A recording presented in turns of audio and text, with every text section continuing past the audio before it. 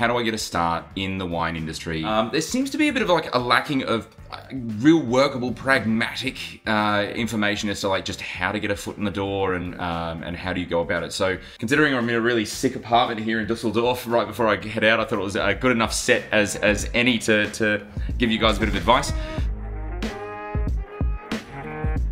Straight into it. Uh, we thought with there's sort of I guess three ways at which you could get uh, your foot in the door uh, in the wine industry and in, in, a broad sense. You've got production, you've got hospitality, and then you've got this sort of other sort of offshoot area uh, uh called sales, wholesale marketing.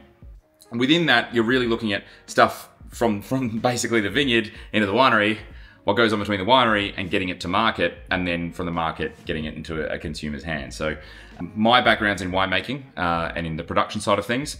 So the easiest way that you can get involved in production is to go and do a harvest. That is by far the best experience, the best thing you could possibly do, in my opinion, is to go and do a vintage at a winery, uh, ideally uh, for the whole season, not just like a week here or two weeks here. You really want to be working there for a solid eight to 12 weeks. Um, now, you've got, of course, a split between Northern Hemisphere and Southern Hemisphere wineries. Northern Hemisphere, you know, USA, France, Spain, Germany, they all tend to have vintage or that harvest period happens at the same time. Uh, about sort of August, September, October. Uh, and then Southern Hemisphere, of course, we've got Australia, New Zealand, uh, Chile, uh, Argentina, South Africa, and that's usually from uh, the months of really like January, February, right through to like April. I, my rule of thumb is very simple. It's actually, uh, if Northern Hemisphere harvest is on, you want to be contacting wineries in the Southern Hemisphere. And if Southern Hemisphere harvest is on, you want to be contacting wineries in the Northern Hemisphere because it really kind of gives them about a six months uh, uh, time frame to be able to determine what their, their team sizes are. Most wineries that uh, I've ever worked in, uh, or even people that apply for roles with Unico Zelo, we really have our team sorted really six months out. We're over planners, but you know, and I'm an over planner. So uh, yeah, definitely giving people the, the maximum amount of time to also just respond to you as well. So when you reach out to wineries, and it's pretty simple, my approach would simply be go and find wineries that you like uh, or places where you want to travel to uh, and uh, whip them an email. Uh, don't just send one or two emails to one or two wineries, send like 10 or 20 uh, and don't keep them to one particular niche. That's another hot tip here as well is um, go bigger than you want to be working in to be honest, because most people want to work in a really cool small winery that's got like a ton of hype around it. Often the hype wineries also just simply don't pay you, um, you know, because the reward is being able to work at a winery that you admire. In my country, in Australia, that's exceptionally illegal. Um, so that's another thing to be mindful of as well is that in some some wineries, in some, oh, sorry, in some countries, uh, there are specific rules uh, around. Uh, I believe I believe they're actually called modern modern slavery rules. But in Australia, for example, 99.9% uh, of the time you're going to get paid, you're going to get paid a, a, controlled amount, what we call award rate. And in some countries, the, the how they work the payment, uh, and also considering you are getting paid, you need to consider things like visas as well the goal is to get a foot in the door. So um, my my approach was actually to go really quite large. I worked at Jacobs Creek uh, for one of my earlier vintages. Um, I learned tons of skills in doing that. That got transferred to every other winery that I've, I've, ever been to, but it was certainly not the the winery that I'd hoped that I would work at one day. Each each their own because there are incredible winemakers that work for that com company. So the the big wineries, firstly, they typically pay better, um, and also they train you really well. You don't learn bad habits. Um, they're big for a reason. Um, they tend to be safer, tend to be safer places uh, to work in. You know, smaller wineries don't really observe a lot of occupational health and safety measures. Uh, don't discount the really big ones uh, because you do learn a lot of skills. Uh, how to operate pumps uh, safely is probably a really big one. Um, how to handle ferments in the, in the right way. Uh, once you're sort of in the, the winery, like, yeah, and you're, you're doing uh, you're doing vintage, be really inquisitive. Ask as many questions. Be super annoying. Uh, someone's going to notice you that um, that you're asking a ton and ton of questions, and you are very very uh, engaged, and they're going to to engage with you. And if not, if no one in that company is going to engage with you, then like especially if you're traveling and you're you're in a typically wineries in rural areas or agricultural districts, uh, go out to the local wine bars, go out to the local pubs. Winemakers, we love a drink. Uh, we love a good yarn, we love a good story, uh, and we love catching up with our friends and especially surrounding ourselves with wine. Uh, so that's where you're going to find more of them. Uh, so just surround yourself uh, with the community and do your absolute best to be inquisitive and put yourself uh, forward to them. Because I tell you what, once you've actually got a position, you're in an area, and you start to to, to know who's who in the zoo of any kind of winemaking district you are you are not going to have as much more difficult problems getting getting roles uh, elsewhere. It's going to be a lot easier. The the wine industry is a little bit clicky sometimes, uh, so you do need to be wary that yeah, it is all about who you know sometimes. So just know more people. Uh, you know, just make one new friend every day. Uh, is probably the the biggest um, the biggest tip I've um, uh, ever been given. If you are, this was actually something that worked really well for me once. Uh, and another really hot tip traveling in a place that I didn't speak the language, that was hard. You do learn, funnily enough, the language no matter where you are quite quickly because you kind of have to. But if you are a bit embarrassed that you don't know how to speak the language and you are trying to go out and you're finding yourself in a, um, in a really a bit of a pickle where you're not really meeting people, you're not really engaging with you uh, over wine, then often during vintage you'll get purple hands. It's a bit of a courtesy to go clean your hands off with with some kind of uh, caustic soda, um, which does a really good job cleaning cleaning all the purple off. Um, don't do that.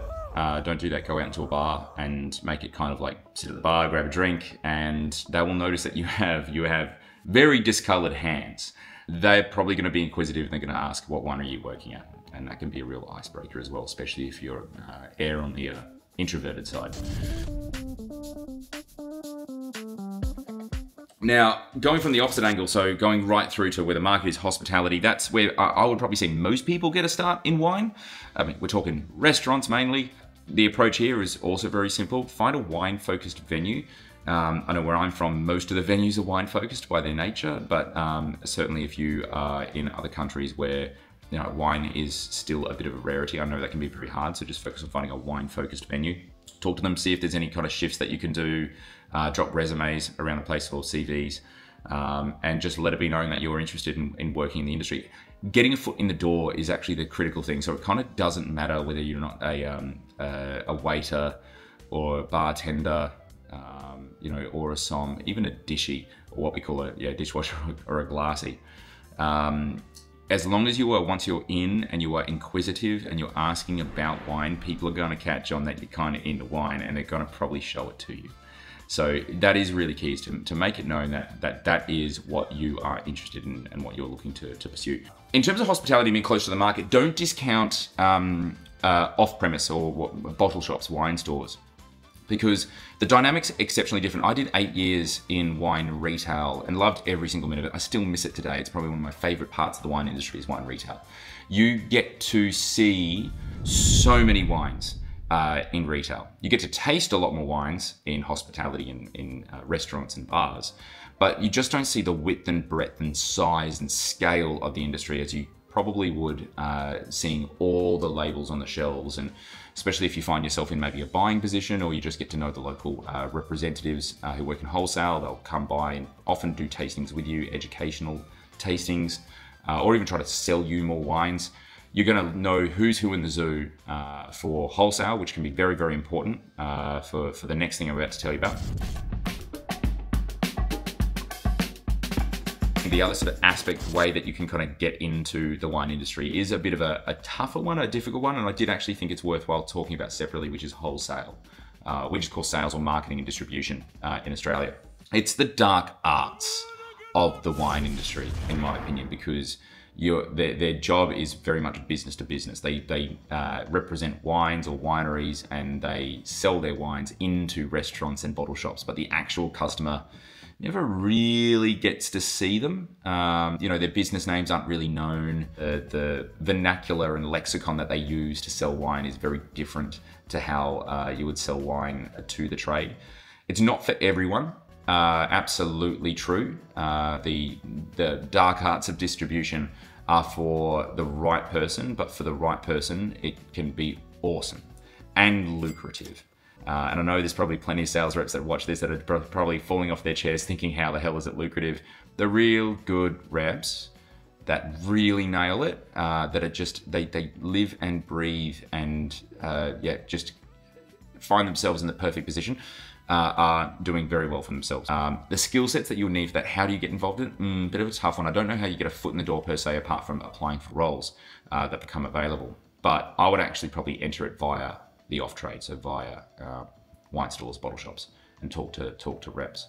Um, it is very much a, a, transferable skill as opposed to say people are working in retail. Yeah, I suppose you get broader retail skills. The world of wine's is a little bit different.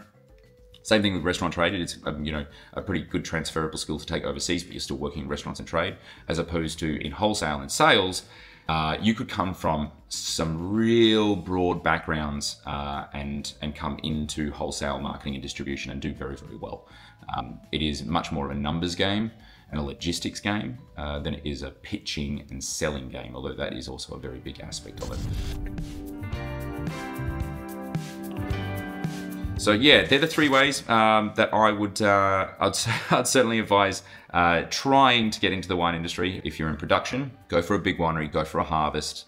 Ideally, maybe even stay in your own country to begin with. So you've got these skills that are very transferable. You can you can learn how to operate pumps. You can learn winery cleanliness. You can learn the do's and the don'ts uh, of working in a winery, especially like yeah, definitely that first vintage uh, is a make or break for a lot of people if you're doing uh, restaurant and, and off premise, uh, find a wine focused venue and also don't write off uh, bottle shops and wine stores. And sales and marketing, just know that if you don't fancy being in front of a customer and you don't fancy getting covered in lees and grape marc uh, and working stupid hours for like three, four months of the year, but you would much prefer either office work or, uh, or sales rep work, then there's another whole arm of the industry uh, that is really, really worth getting into.